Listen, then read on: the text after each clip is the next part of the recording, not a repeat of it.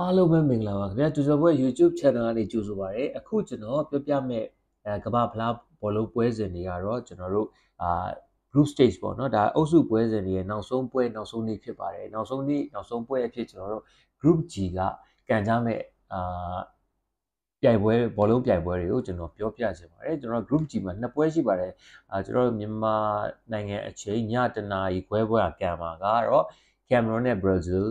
ပြီးလို့ရှိရင် Serbia နဲ့ Switzerland ကမှာခင်ဗျအဲ့တော့ Cameroon နဲ့ Brazil နဲ့ Serbia နဲ့ Switzerland ဆိုတော့ဒီအုပ်စု group G မှာပေါ့နော် group G မှာရက်တီနေတာ Brazil က6မှတ်6မှတ်နဲ့တော့အုပ်စုတက်သွားပြီအာ Switzerland က3မှတ်နဲ့အုပ်စုဒုတိယနေရာမှာရှိတယ် Cameroon က1မှတ်နဲ့အုပ်စုတတိယအာ Serbia ကလည်း1မှတ်နဲ့အုပ်စုစတုထအဲ့တော့ ဒီမှာက Brazil နဲ့ Cameroon ပေါ့နော် Brazil နဲ့ Cameroon ကမယ် Cameroon ဆိုတော့ Brazil ကသူဖိအားမရှိတော့ဘူးသူတို့6မှတ်ရပြီအုပ်စုလည်းတက်ပြီအဲ့တော့အရှုပ်ထွဲပွဲအတွက်သူ့ရဲ့ star player တွေသူ့ရဲ့ကစားသမားတွေကိုသူအေးစစ်စစ်နားပေးပြီးတော့အားမွေးမဲ့သဘောရှိတယ်အ play ကိုလည်းအဲဟိုအရန်နေနဲ့ထည့်ခံနေဆိုပေမဲ့အရန်တွေကိုလည်း play ကိုလည်း in like အားတိုင်းနဲ့အာကစားမှာတဲ့အေးစစ်စစ်တက်တော့တက်တာအာပေါ့ပေါ့ပါလေးကစားသွားမဲ့အနေထားရှိတယ်မရှုံးအောင်တော့ကစားမှာပေါ့နော် အနေဆုံးတော့တည်လောက်တော့သူထိမ့်ပြီးကစားသွားမဲ့သဘောရရှိတယ်မဖြစ်မနေနိုင်ရမယ်ဂိုးတွေအများကြီးသွင်းရမယ်ဆိုတော့စိတ်နဲ့ကစားမဲ့ပုံတော့မရှိဘူးဒါ Brazil side ကပေါ့နော်ကင်မရွန်ကိုကြည့်တော့ကင်မရွန်ကတမတ်ပဲရထားသေးတယ်တမတ်ပဲရထားတဲ့အပြင်သူ့ရဲ့ goal difference က -1 သွားထားတယ် -1 သွားထားတဲ့အတွက်ကြောင့်သူကတည်ကြလို့မရဘူးသူတည်ကြရင်လည်းနှစ်မှတ်ပဲကြာမယ်နှစ်မှတ်ရလို့ရှိရင်ဆွစ်ဇာလန်ကအော်တိုတက်သွားမယ်အဲ့တော့အဲ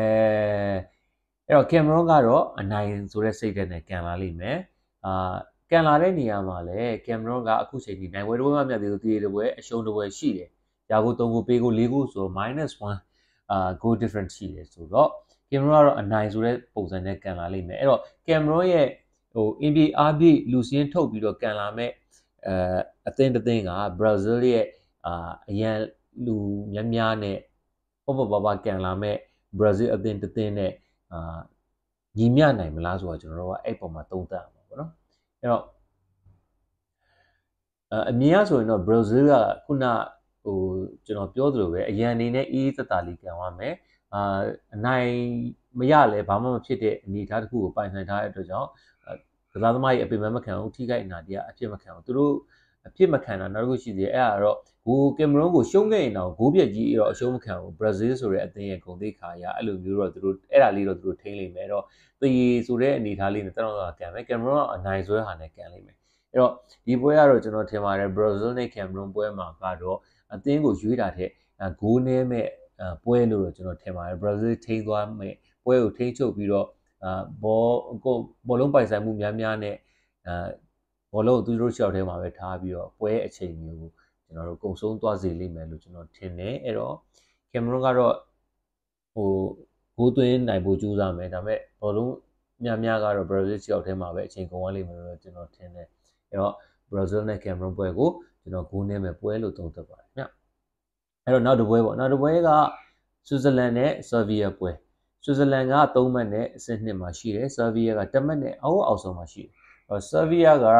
တွင်းကို3ကိုပေးကို5ကိုနဲ့သူက -2 အောင်ထွက်ထားတဲ့ကြောင့်အောက်ဆုံးမှာရှိတာ goal difference ကအဲ့တော့ဆွစ်ဇာလန်ကဒီပွဲမှာတည်ကြလိုက်ရင် သူက၄မှတ်ဖြစ်မယ်တကယ်လို့ဟိုဘက်အုပ်စုက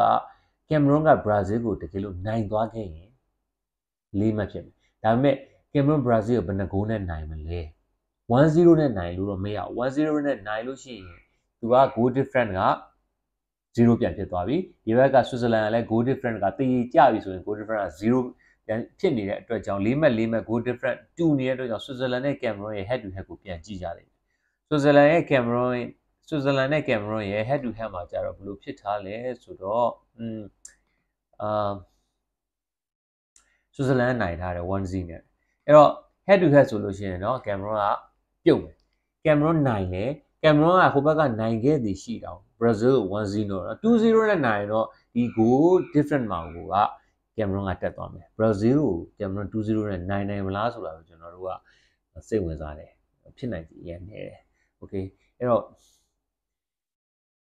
ဆွစ်ဇာလန်ကတည်ကြလို့ရှိရင်ဟိုဘက်ကကင်မရွန်ကနိုင်ခဲ့ရင်တော့ဘရာဇီးကိုကိုပြတ်နိုင်မှာကင်မရွန်ကိုသူကဒုတိယနေရာလွှဲပေးရမယ်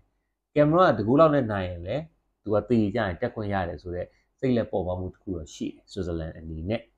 အဲ့တော့ Serbia Serbia ကျတော့တက်မှတ်ပဲရတယ်အုပ်စုအောက်ဆုံးမှာ goal difference က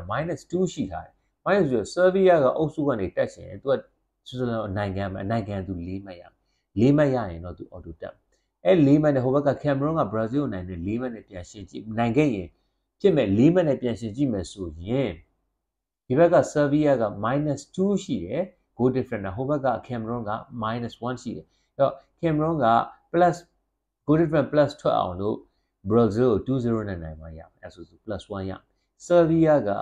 plus 1ထွက်အောင်လို့ Switzerland ကို3-0နဲ့နိုင်မှရအဲ့ဒါမှ သူက plus 1ထွက်မယ်အဲ့တော့ plus 1ချင်းတူသွားရင်တော့ Serbia ကဒီဘက်က Switzerland ကိုနိုင်လို့4မှတ်ဟိုဘက်က Cameroon က Brazil ကိုနိုင်လို့4မှတ်အာ Brazil Cameroon 2-0နဲ့နိုင်တဲ့ Serbia က Switzerland ကို3-0နဲ့နိုင်တယ်အဲ့ဒါဆို goal difference တွေကညီသွားပြီ goal difference တွေကညီသွားတဲ့အချိန်မှာ head to head ကိုပြန်ကြည့်တော့မယ် head to head ကို Serbia နဲ့ Cameroon နဲ့က head to head မှာဘာဖြစ်ခဲ့တယ်လဲ Serbia နဲ့ Cameroon ကလည်း head to head မှာ3-3ဖြစ်ခဲ့တယ်တိုက်ဖြစ်တယ်အဲ့တော့ ဒီနှစ်ခုအဲ့လိုတိုက်ဖြစ်သွားလို့ရှိရင်တို့ဘယ်လိုဆုံးဖြတ်မလဲဒီအထိတော့ကျွန်တော်မစဉ်းစားတော့ဘူးเนาะအဲ့တော့ okay အဲ့တော့စိတ်ဝင်စားဖို့တော့ကောင်းတယ်ကင်မရွန်ကလည်းဒီဘက်ဆာဗီယာကလည်းဆွစ်ဇာလန်ကို3-0နဲ့နိုင်ကင်မရွန်ကလည်းဘရာဇီးကို2-0နဲ့နိုင်ဆိုသူတို့ရဲ့ goal difference တွေကသွားတူပြီးဟက်တူဟက်ကိုပြန်ကြည့်တော့အုပ်စုတွေပွဲစဉ်မှာသူတို့နှစ်သင်းက3-3နဲ့တရေကန်ထားတယ်တရေကန်ထားတော့ဟုတ်တယ်နော်ကျွန်တော်ကျွန်တော်အမှတ်မောင်းဆို3-3ပြအဲဒီချက်ချက်လေးပါမယ်ဆာဗီယာနဲ့ yes ကင်မရွန်နဲ့က3-3 3-3ကန်ထားတယ်3-3ကန်ထားတယ်ဆိုတော့ဒါသူတို့ဘယ်လို ranking နဲ့ဘယ်လိုပြန်ဖြတ်မလဲတော့ကျွန်တော်မသိဘူးအဲ့တော့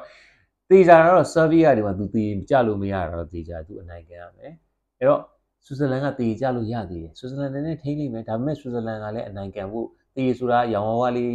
ဟို fit ဟိုပေါ့နော်60 40 70 30လောက်ပဲရှိတယ်ဆိုတော့သူအနိုင်ခံမှသူလုံးဝ100ဖြစ်မယ်ဖြစ်တဲ့အတွက်ကြောင့်အနိုင်အနိုင်ခံလိမ့်မယ်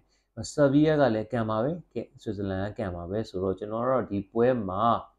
ဆာဗီးယားနဲ့ဆွစ်ဇာလန်ပွဲမှာကတော့ကျွန်တော်ကတော့အာဆွစ်ဇာလန်ကိုကြိုက်တယ်ဆွစ်ဇာလန်ကိုကြိုက်တယ်ဂိုးရီအတွက်ရလဲဆာဗီးယားနဲ့ဆွစ်ဇာလန်ပွဲမှာများလိမ့်မယ်လို့ကျွန်တော်ထင်တယ်အဲ့တော့ဒီပွဲမှာတော့ဆာဗီးယားနဲ့ဆွစ်ဇာလန်ပွဲမှာကျွန်တော်ဆွစ်ဇာလန်ကိုကြိုက်ပါတယ်ဂိုးရီအတွက်များမဲ့ပွဲလို့ကျွန်တော်သုံးသပ်ပါတယ်အဲ့တော့ group G ရဲ့နောက်ဆုံးပွဲတွေအဖြစ် Brazil နဲ့ Cameroon ပွဲမှာ ကျွန်တော်ဂိုးနေမယ်လို့သုံးသပ်ပါတယ်ဆာဗီးယားနဲ့ဆွစ်ဇာလန်ပွဲမှာဆွစ်ဇာလန်ကိုကြိုက်ပါတယ်ဂိုးများမယ်လို့ကျွန်တော်သတ်မှတ်ပါတယ်ခင်ဗျအားလုံးကိုကျေးဇူးအများကြီးတင်ပါတယ်